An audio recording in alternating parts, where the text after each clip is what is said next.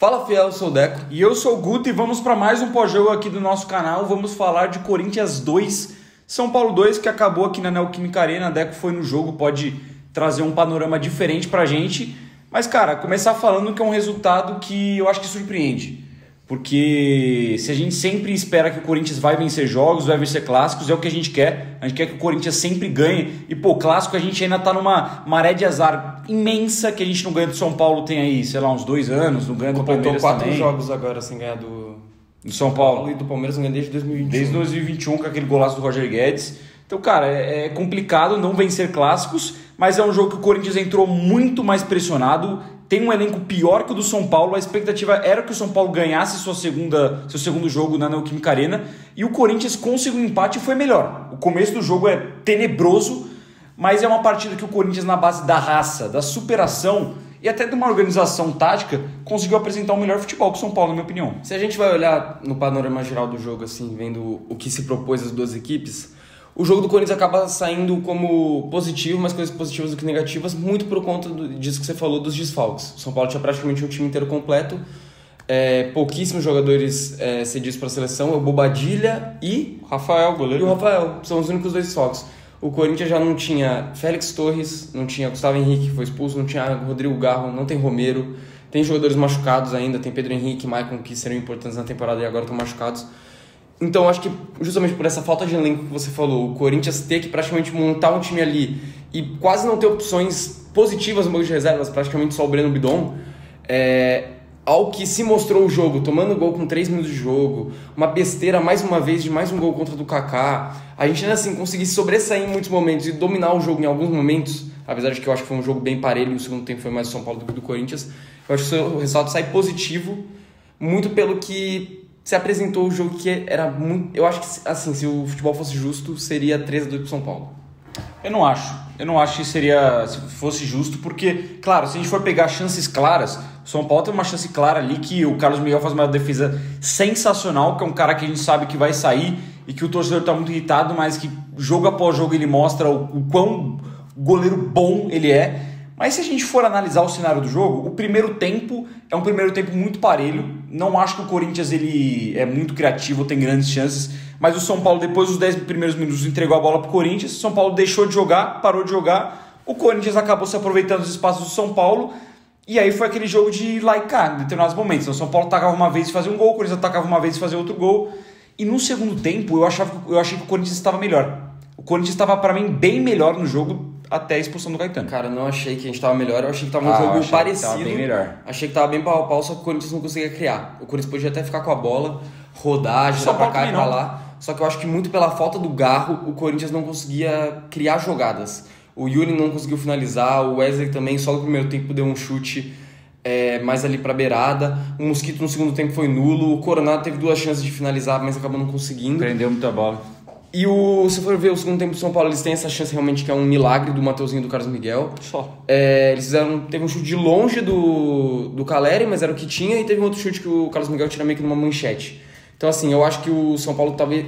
O que eu disse da, da vitória do São Paulo é que, assim, acabou empatado. Eu acho que o empate foi justo. Mas se fosse pra ter um vencedor, eu acho que seria mais o São Paulo do que o Corinthians, É. pelo que se mostrou no segundo tempo. Muito passando também pela infantilidade do Caetano, mais uma Sim, vez. mas se a gente pega o segundo tempo também, o Corinthians tem uma chance até que clara com o Yuri, que ele corta pra dentro, chuta Sim. e o, gol- e o Jandrei faz uma boa defesa. Tem uma cabeçada no escanteio também, não sei se é o Kaká, o Pedro Raul, alguém que toca a bola passa por cima. Então, assim, até a expulsão do Caetano, o Corinthians estava conseguindo controlar Sim, era um o jogo- era um jogo o São bem- Paulo pouco chegava. Era um jogo bem pouco pau a pau. chegava. Depois que o Caetano foi expulso numa imbecilidade imensa, que por sinal esse cara não pode jogar mais com a camisa do Corinthians. Não pode jogar mais. Já foi expulso duas vezes em um majestoso só nesse ano, das duas formas muito infantil e é um zagueiro muito comum. Você pega no primeiro gol, o primeiro gol é 90% nas costas do Caetano. Ele sai pra fazer a marcação no Caleri, que não era ele que tinha que sair ali, era algum dos volantes do Corinthians que tinha que cobrir. Ele sai pra fazer essa marcação, ele toma um, um giro de corpo do Caleri, que ele é feito ali de. Deu até vergonha de ver o que o, que o Caetano fez ali. Ele é completamente tirado da jogada e aí abre o espaço no meio pro Lucas chegar sozinho. Então o primeiro gol é culpa dele, ele é expulso. É um jogador que é inexperiente e não tem qualidade para jogar no Corinthians. Cara, ele é aquele jogador que, se ele vai ficar no Corinthians, ele tem que ser quarta opção e não pode jogar jogo grande. A gente viu que, de novo, ele prejudica. E contra zagueiro, contra centroavante é, que realmente é bom, a gente vê que o Caetano não consegue sobressair em momento nenhum. Qual que foi a jogada que ele ganhou em cima do Lucas, a jogada que ele ganhou em cima do Caleri? O Caetano mais uma vez provou que ele realmente não consegue ser esse cara. E eu acho que isso passa muito também pela montagem do elenco do Corinthians, que não tem nenhum zagueiro que a gente fala, pô, esse cara é confiável. No máximo, talvez o Félix Torres, mas agora pela ausência dele não dá nem para considerar. Mas o Caetano não é esse cara. O Kaká hoje, mais uma vez, mostrou que não é, porque se você falou do primeiro gol, o segundo gol em dois momentos é culpa do Kaká. Ele faz um gol contra que, beleza, é infelicidade. Mas segundo jogo seguido fazendo contra não dá. Não dá. E também porque a jogada nasce de um lançamento lá pra frente que o Lucas domina a bola que o Kaká deixa ele. O Kaká poderia chegar perto para pelo menos pressionar o Lucas ali. Ele deixa o Lucas dominar e começa a correr para trás, deixa ele livre. E aí sai toda a jogada do gol e ele coloca a bola para dentro. Mas aí você vê também, aí o Gustavo Henrique a gente viu que eu já falei que não acho ele um zagueiro confiável. E pelo que fez no último jogo também se mostra ser outro zagueiro infantil, apesar de seus 30 e tantos anos de idade. Mas é muito difícil confiar na zaga do Corinthians. É, pelo que eles vêm apresentando e também por esse número gigantesco de erros juvenis que eles vêm cometendo. E aí é até difícil você botar na conta de treinador, você botar na conta do ataque. Eu vi muita gente falando, ah, mas vai botar na conta do sistema defensivo, mas o ataque que não cria. Ah, mas o Antônio Oliveira tá errando. Beleza, tem como pontuar isso.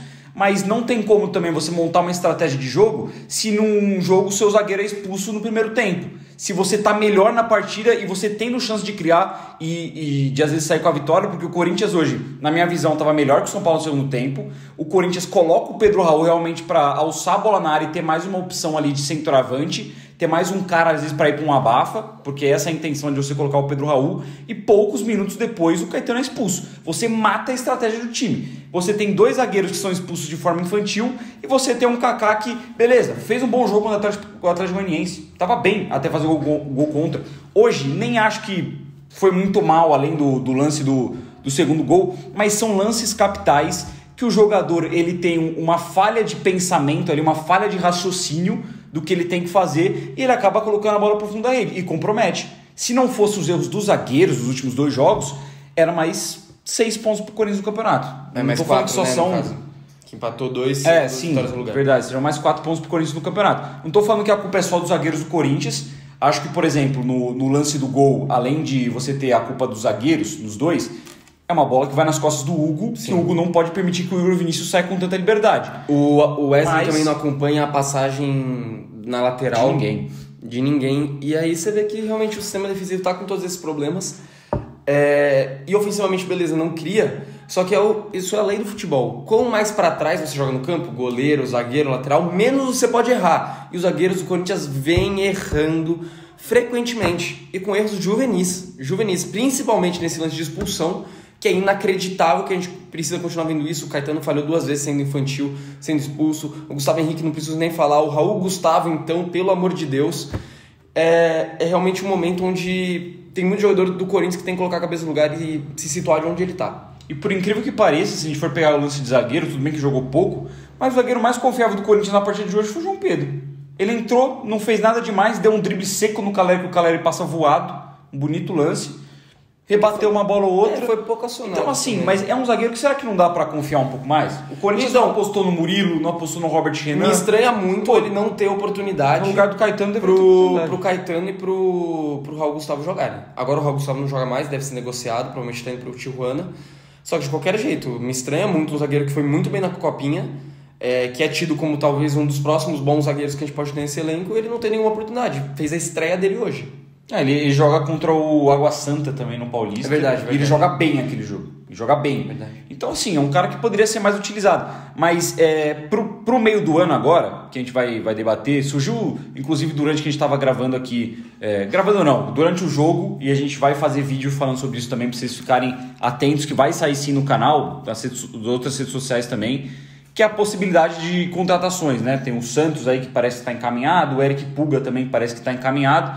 Mas, cara. O eu... Wallace também, que surgiu nesses dias, né? Da Udinese. Não deve interesse, vir, né? mas existe um interesse. E eu, eu sempre bati na tecla outras prioridades, mas eu acho que eu concordo com você agora que zagueiro talvez seja uma prioridade do Corinthians.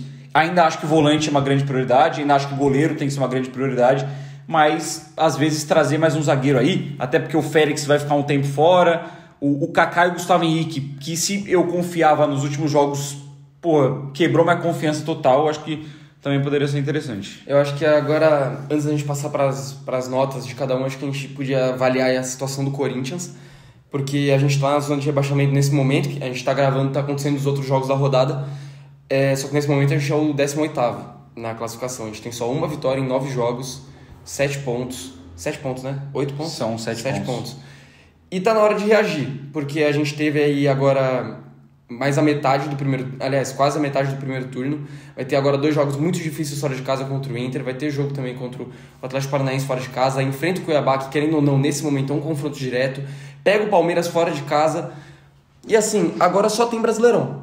Só tem Campeonato Brasileiro e é o momento que o Corinthians de fato precisa focar, porque se quiser realmente poder almejar coisas na Copa do Brasil e na Sul-Americana, o que eu acho muito difícil, tem que focar no Brasileirão e começar a ganhar jogos. Não dá para jogar bem e empatar porque é a segunda vez que isso acontece desperdiça pontos, o Corinthians tem que parar de desperdiçar pontos, tanto em casa quanto fora.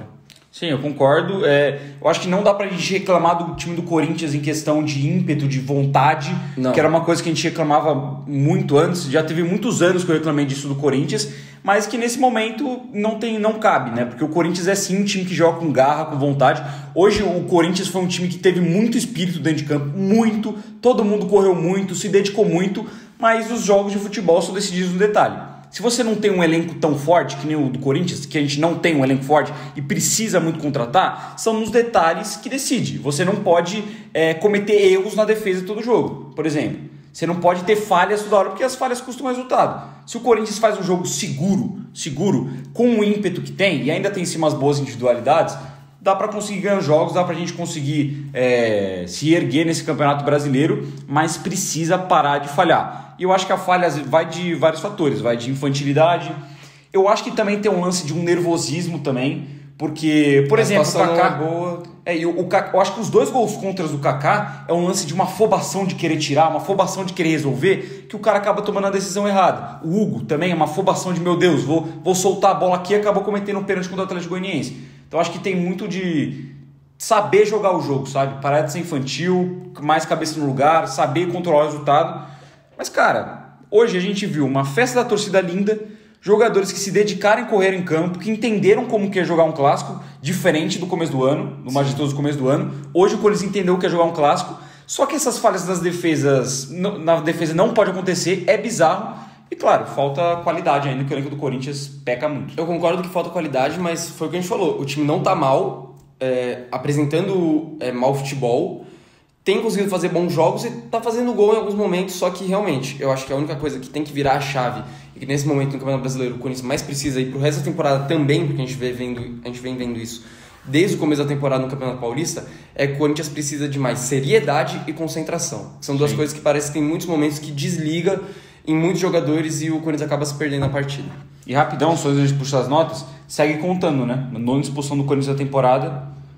Assim, eu não tenho essa informação, mas se a gente for olhar nos últimos anos, talvez aí vai bater recorde esse ano. Provavelmente vai bater. de cartões vermelhos. Acho que mesmo se não tomar até o final do ano, já deve ser o ano, o ano que o Corinthians, sei lá. Mais que o ano passado. 10, 20 anos mais teve expulso. Se tomar mais um, já é o dobro do que o ano passado. E com metade da temporada. Metade da temporada. Então vamos de notas. Começar pelo Carlos Miguel, que eu não vou puxar para extra-campo porque eu não aguento mais falar sobre isso. Mas avaliando no jogo, pô, ele fez um milagre, aquilo de fato foi um milagre que ele fez. E o resto da partida ele foi bem. Eu achei que com os pés ele ainda peca muito. E que. Aquele lance dele pra lateral é bizarro. É, não, teve um escanteio. escanteio. É, assim, é difícil de acreditar. Mas realmente, com a mão ele é muito bom, com os pés ele peca muito. É, e hoje ele salvou a gente mais uma vez, então por isso nota 9. Eu vou de nota 9 também. O Carlos Miguel Cara, não interessa se a gente vai falar de extracampo. O cara vai sair, ele claramente tomou uma decisão errada. Eu discordo muito dele. Mas analisando o jogador, o Carlos Miguel, ele é um baita no goleiro. Ele é um goleiro espetacular. Dentro de campo a gente não tem nada o que reclamar dele. Deu um empurrão no Caleri, claro, ele correu o risco de ser expulso, mas é muito bom ver ele bater em São Paulino, pô, isso é muito da hora. É, teve a defesa fantástica. O Luciano também, que é melhor ainda. Melhor ainda. Teve a defesa dele fantástica, fantástica no segundo tempo, que ali, aquilo é um milagre de verdade. E se a gente for pegar o primeiro tempo, também teve uma defesa dele no chute do Luciano que foi muito boa. Então, salvou o Corinthians, de novo, nota 9. E só um detalhe também do Carlos Miguel, que a gente falou aqui que pra gente é a decisão errada. Eu acho só um detalhe que eu gostaria de pontuar é que, pô, hoje a gente vendo o Carlos Miguel jogar, é, assim, eu acho uma decisão muito burra dele realmente querer sair. É, porque se ele estiver almejando coisas grandes para a carreira dele, porque primeiro ele é muito jovem. E a chance dele disputar vaga na seleção brasileira é infinitamente maior dele jogando no Corinthians do que no Nottingham Forest. Sim, infinitamente. Ele é muito Maior. mais goleiro que o Rafael, ele é mais goleiro do que o Bento. É, eu acho, pelo menos na minha opinião, ele tá se mostrando se ele é mais goleiro que o Léo Jardim, que foi convocado esses tempos. Ele tem tudo para ser um goleiro de seleção brasileira. Eu acho que ele tem tem potencial. muito mais espaço para isso aqui do que na Premier League. Pra mim tem potencial pra ser o melhor goleiro do Brasil. Não, não goleiro brasileiro no mundo, o melhor goleiro do Brasil. Tranquilamente. Mas, enfim, são decisões da vida, a gente poucas vezes não entende. Muitas vezes parece que só com o Corinthians acontece essas coisas, né? Que é inacreditável, mas é, a gente tem que procurar seguir. Mateuzinho na lateral direita. Cara, eu gostei do jogo do Mateuzinho. Eu acho que o primeiro tempo sofreu. Eu não gostei do primeiro foi mal. tempo, mas gostei muito do O segundo, segundo, tempo. o segundo tempo, o Mateuzinho vai muito bem, pouco se passa pelo lado dele. E o lance que a gente falou do milagre do Carlos Miguel, também o Mateuzinho salva na primeira. Outro milagre dele. Ele vai muito bem. Cara, eu acho que no conjunto da obra, até pelo primeiro tempo que ele não é, prejudicou em chances claras de gol pro São Paulo, eu vou dar uma nota 7 pro Mateuzinho. Eu vou de 7,5, porque apesar de que eu achei que ele não fez um mau primeiro tempo, não comprometeu. Aí você vai passar pro segundo tempo que realmente ele é um leão marcando na lateral direita. Ninguém passou por ele o jogo inteiro. O inteiro não, né? No segundo tempo, ninguém passou por ele. E ele ainda fez esse milagre junto com o Carlos Miguel, que foi espetacular. Então, por isso, 7,5 pro Mateuzinho. E é outro que a gente falou, que muitas vezes se falta espírito de Corinthians, o Mateuzinho, todos os jogos, mostra sim, muito sim. ter. Hoje, principalmente. É. Puta, mano. Aí eu vou começar pelo, pelo Caetano, que eu vou dar nota meio. Porque, apesar dele ter sido expulso, eu aplaudi o primeiro amarelo dele, que eu achei que foi uma falta inteligente. Mas a segunda é uma falta completamente burra, inútil. é, E que ele, mais uma vez, se mostrou um jogador completamente apavorado e que não faz nem sentido ele querer reclamar. Ele foi o único que foi reclamar de ter sido expulso. Eu vou nota zero. Pra mim é nota zero pro Caetano, porque eu vou seguir a mesma linha que o Gustavo Henrique. Tudo bem que o Gustavo Henrique foi expulso no primeiro tempo, É no só lance por mais imbecil. Foi Só mais por vou dar imbecil. zero, porque foi menos imbecil e não foi no primeiro tempo. Sim, o Caetano foi menos imbecil, mas mesmo assim ele foi imbecil, ele foi expulso novamente contra o São Paulo e ele falhou no primeiro gol. Se não ter um Caetano e ter um zagueiro ali que não fizesse nenhum desses erros, o Corinthians teria ganhado o jogo. Para mim, o Caetano disparado pior em campo. Se não fosse expulso, para mim já seria o pior do Corinthians em campo. Nota zero para E mim. o pior de tudo é ser reincidente, né? Isso é bizarro. É bizarro, cara. O cara não tem cabeça de ca- cabeça para jogar no Corinthians. Kaká, novamente, não acho que fez uma partida ruim, mas ele faz um gol contra, ele falha no segundo gol, como você falou na, na jogada, da, da construção da jogada. Então não dá para dar uma nota muito alta para ele não. Eu acho que segue um lance de um dos piores do Corinthians também. Eu vou de nota 3 pro Kaká. Cara, eu vou de dois e também o mesmo argumento do Caetano, levando em consideração que é reincidente. Não dá pra fazer dois gols contra seguidos. Não dá. Desculpa, isso não existe. Com a camisa do Corinthians, principalmente, isso aí não existe. Inclusive, uma informação que a última vez que um jogador do Corinthians tinha feito isso foi o lateral Diego Sacomã, lembra? Lembro. 2007. Péssimo, foi? Provavelmente foi isso. 2013. 2013? 2013. Tava no Corinthians ainda em 2013? Tava. Deus me livre. Foi num jogo contra. Sim, a informação é do SCP News, não sei. Não, não fui verificar certamente, mas pelo que eles passaram foi isso. É, Hugo, achei uma partida discreta. é, sofreu um pouco na marcação, não, não é que comprometeu também, mas achei que sofreu mais do que o normal. 4,5 pro Hugo. Também acho, o, o Hugo ele não teve uma participação tão efetiva no ataque, apesar de ter dado assistência pro gol do Coronado. E o gol do São Paulo segundo, acho que tem uma falhinha dele também ali, tem a participação. Eu vou de nota 4 pro Hugo, porque, cara, não acho que foi o pior do Corinthians, mas também acabou comprometendo, vou de nota 4 para ele. Agora, abrindo o meu campo, eu acho que voltamos a ter uma partida boa do Ranielli. Sim. Porque o Ranielli vinha de umas duas, três partidas aí não jogando tão bem.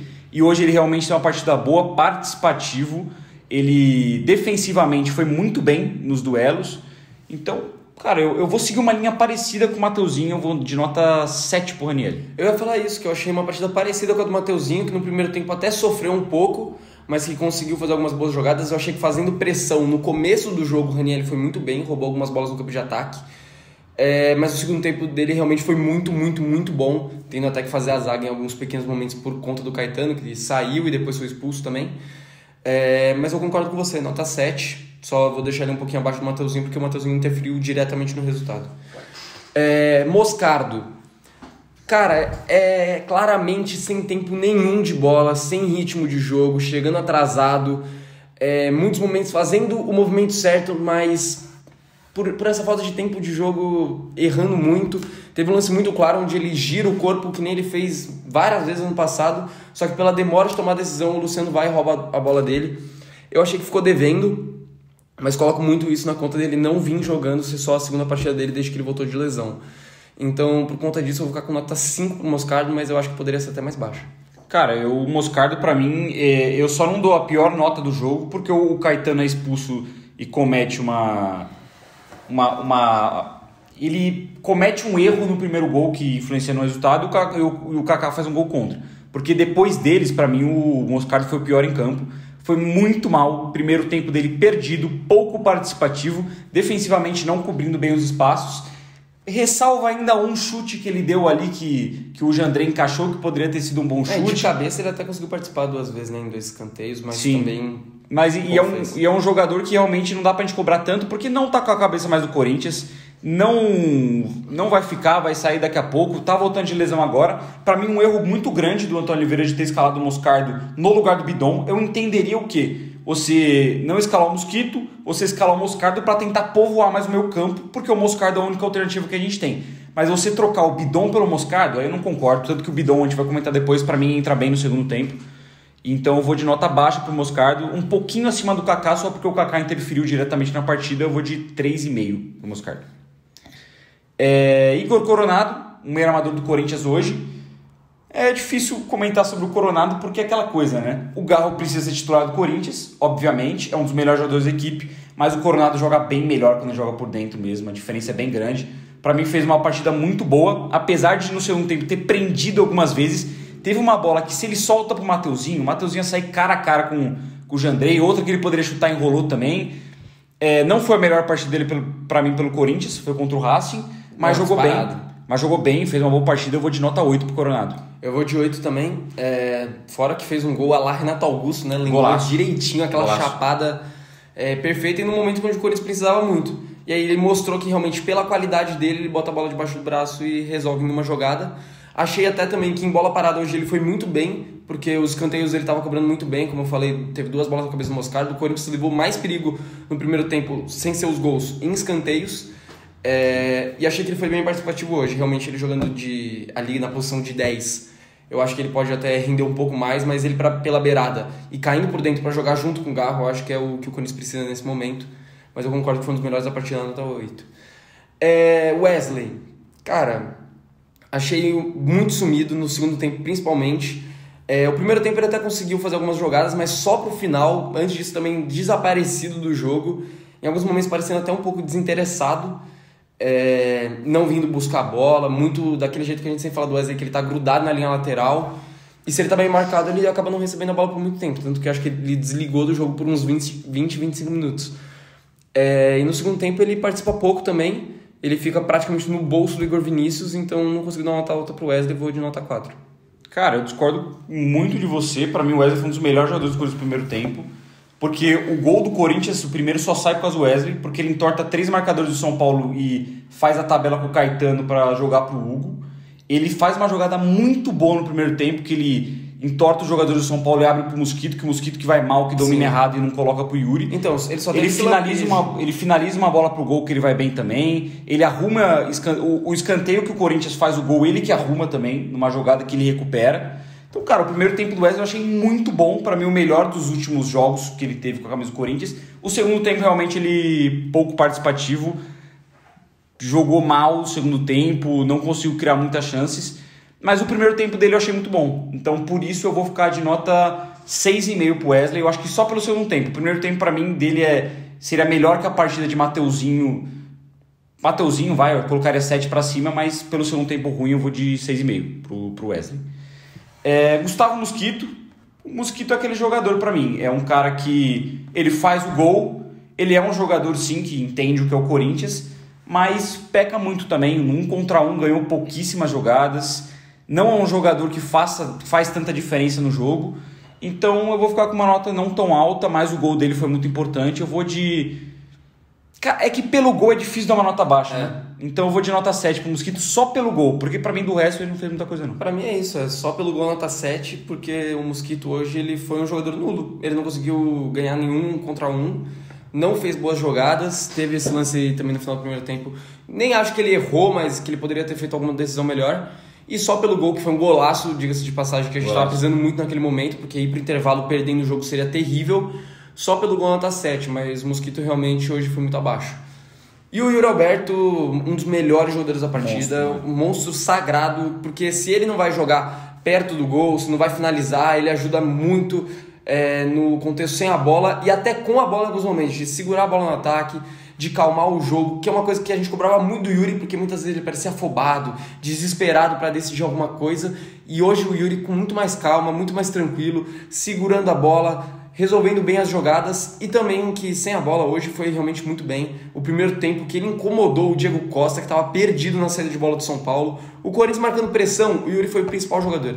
E realmente estava funcionando essa pressão na saída do São Paulo, porque eles não estavam conseguindo tomar conta do jogo por conta disso. O Yuri foi a principal peça nesse sentido. Por isso, mano, vou de nota 8,5 pro Yuri, que eu achei que ele foi muito bem na partida de hoje, apesar de não ter feito gol. Fora que ele rouba a bola do gol do Mosquito. Sim. O Luciano dá uma vacilada ali, ele que vai na disputa e consegue arrumar a bola pro gol dele. Por incrível que pareça, a gente tem no elenco do Corinthians um Ranielli, que é um cão de guarda absurdo. Você tem os zagueiros que costumam ser jogadores que em clássico que bate mais, que tem mais pegada, que desarma mais. O próprio Mateuzinho, que foi bem nesse quesito. Mas o Yuri, para mim, foi o principal jogador da marcação do Corinthians hoje. Isso que é, é meio Sim, curioso. centroavante. Né? O cara é centroavante, para mim, foi o principal jogador da marcação. Porque o que ele roubou de bola? Ele rouba uma bola que decide o jogo, que é o do gol do Mosquito. Ele rouba várias bolas do campo de ataque que dá a oportunidade do Corinthians de criar algumas jogadas. E que, que nem você falou, com a bola no pé indo bem, fazendo bem o pivô. Tem uma, uma bola do seu tempo que ele deixa de com o lado do pé. Sim. Ele deixa, acho que pro Wesley, se eu não me engano. Pô, muito, Sim, que ele já toca de primeira jogada. com a movimentação e já vai embora. Muito bonita jogada. A única chance de perigo do Corinthians no segundo tempo, praticamente, veio dos pés dele, que foi uma jogada individual, que ele Parecido corta e chuta com o bem. gol do Atlético Goianiense, né? Sim, ele corta pra parecido. esquerda e chuta. Parecido mesmo. Então eu vou seguir nota 8,5 pro, pro Yuri também. Para mim, eu só não coloco o melhor da partida, porque o Carlos Miguel faz duas defesas que decide o jogo, né? Uma delas extraordinária. Mas o Yuri, para mim, é o melhor homem em campo do Corinthians. E, de novo, já foi muito bem contra o Atlético Goianiense. Contra o Botafogo, na única chance que recebeu, colocou na trave. Poderia ter feito gol se não fosse o John.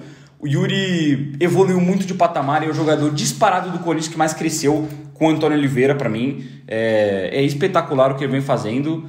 Tá muito bem, cara. Não fez gol hoje, mas para mim foi o principal nome do Corinthians dentro dos jogadores de linha. E se a gente cobrou a infantilidade dos outros jogadores do Corinthians, a gente pode falar que o Yuri hoje foi muito maduro, porque centroavante nessa função é muito normal e a gente já viu o Yuri muitas vezes fazendo falta nesses lances. Ele poderia roubar a bola, mas por um excesso de vontade ou por falta de concentração acaba sempre fazendo falta. Hoje o Yuri não fez uma falta tentando roubar as bolas. Sim. Ele conseguia roubar, ia no corpo, ganhava na bola.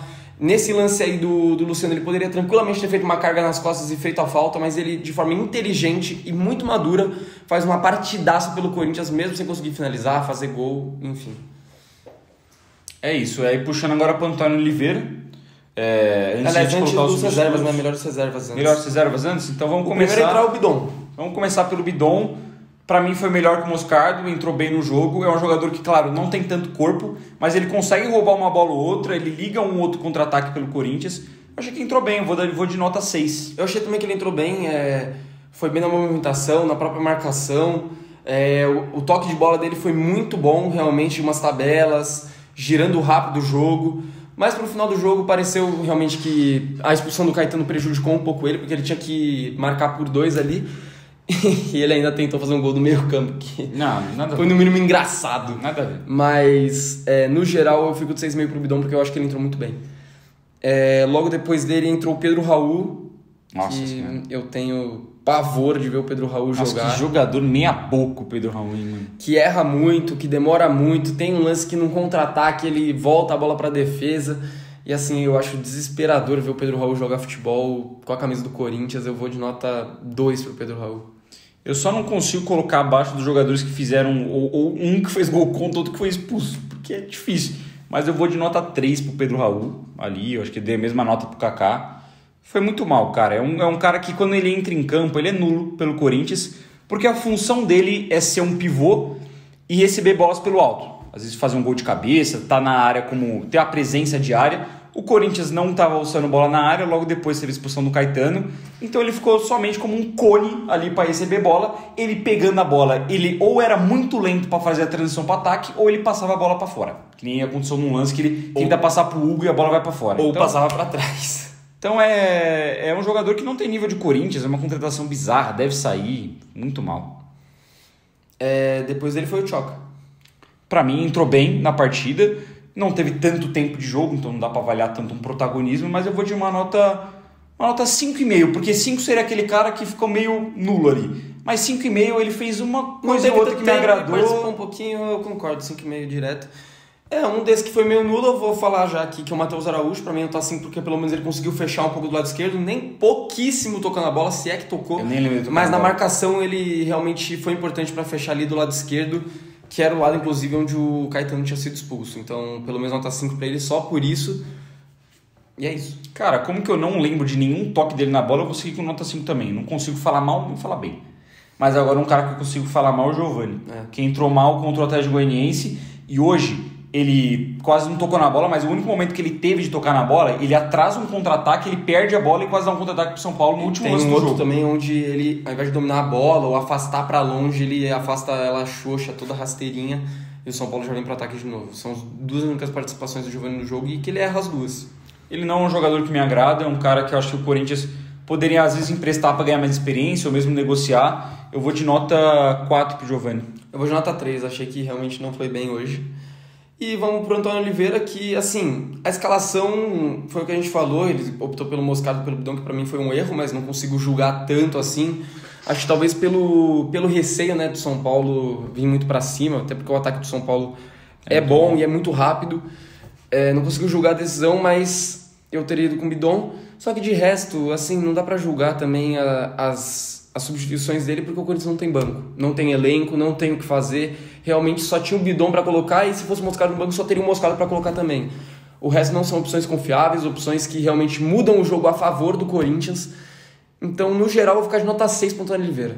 Cara, o Antônio é difícil de julgar, porque eu concordo com o que você falou em relação ao Moscardo e o Bidon. Eu acho que o Bidon teria que ser titular é, e teria que ter entrado ele nesse jogo como titular. A gente viu durante a partida que o Bidon ele fez uma partida melhor do que o, o Moscardo dentro do que eles jogaram. Mas é muito difícil de você jogar um cara que além de não ter opção, você olha para o momento do Corinthians, não só político, mas de venda de jogador. Ele está jogando com um goleiro que ele sabe que vai estar tá vendido, que às vezes nem está com a cabeça mais do Corinthians. A gente viu que tá, mas tem jogador que não, não tem essa mesma percepção. O Moscardo, que parece que também já não está com a cabeça mais do Corinthians, que vai ser vendido. Ele não pôde relacionar o Fausto Vera hoje, porque o Fausto vai ser negociado, tudo indica que com o Atlético Mineiro, para ele não completar o sétimo jogo dele. Então, é, ele não pode contar com um jogador que, por mais que não agrade a torcida, não tem opção ele no banco usa reserva, várias vezes, né? E ele usa.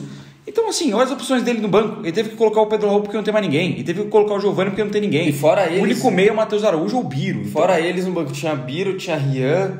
É... Tinha, o, tinha o Guinegão da base também. Que é nascido em 2007. Então. Então, assim, realmente é. Não Teve que usar o João Pedro. Não tem muito o que fazer. É, a gente fala de Kaká e Caetano. Mas ou era o Kaká e o Caetano, ou botar na fogueira um moleque de 20 anos que é o João Pedro. Que eu acho que tem que começar a ganhar chance, mas não logo de cara num clássico, né? Vamos combinar. Então eu acho difícil de julgar. Eu acho que dentro da proposta o Corinthians cometeu erros. Ele cometeu erros também na montagem inicial do time mas ainda assim conseguiu um empate e teve muito espírito, que isso é algo que eu valorizo nele. Então por isso eu vou de nota 6,5, porque eu não acho que o Corinthians fez um mau jogo. Teve erros individuais que eu acho que nem passam muito pela, pela escolha dele, decisão dele, e que ele acaba mais pagando o pato do que outra coisa. É, muito por conta do Caetano, que realmente mais uma vez foi o vilão do jogo, o vilão do majestoso. Mas é isso, rapaziada. Tá aí mais um pós-jogo entregue para vocês. Corinthians 2, São Paulo 2. A gente volta aí na quarta-feira para falar de Internacional e Corinthians. É, se inscreve aqui embaixo, deixa sua opinião aí do clássico também nos comentários. Não esquece de seguir a gente nas redes sociais e compartilhar esse vídeo com seus amigos corintianos. Demorou? Tamo junto e vai Corinthians. É Corinthians.